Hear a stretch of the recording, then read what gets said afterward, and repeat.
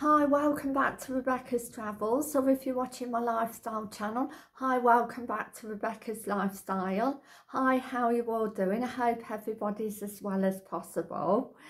Um, if you haven't subscribed to my uh, Travel and My Lifestyle channel, please subscribe and a big thumbs up and thank you for doing so.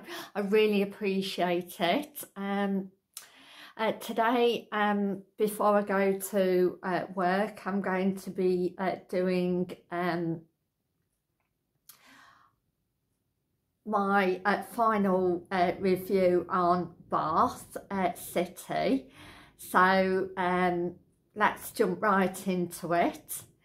Um, again, um, the weather was generally good and it um, hooked upheld. It was sunny.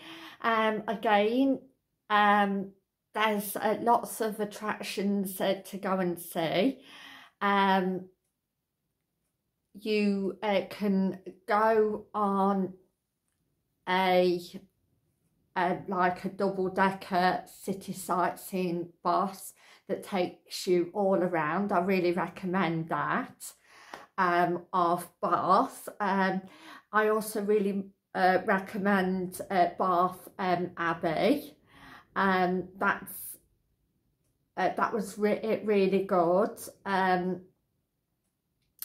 and it was like the church style and it was also like an information like a museum and, and art um also um there was um, like a free cafe um, that you could have some like soup and sandwiches and a hot drink.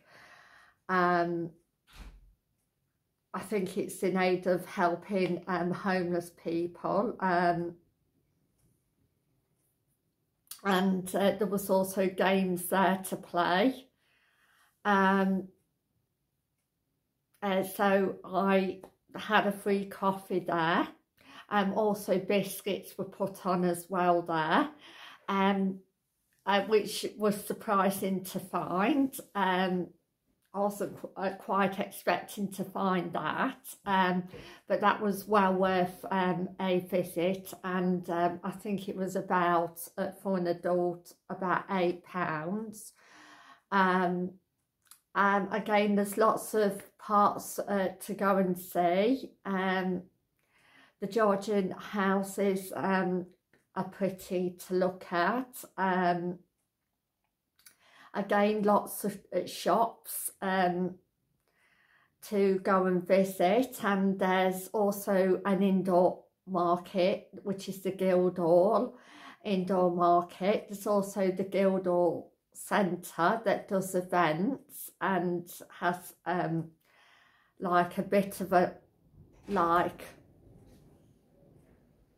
um, art and uh, gallery and like museum thing.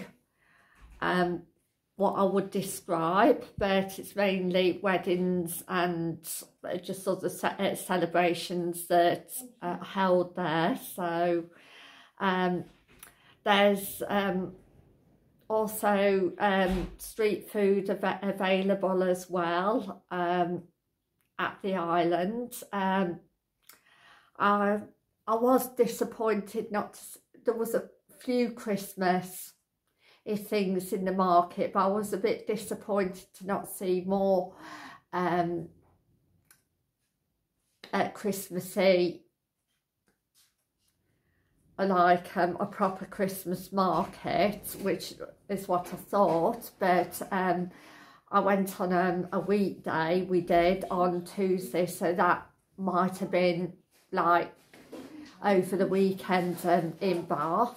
Um, there was a few um, like um, Christmas decorations in the market, which I, I was pleased to see. Um, and um,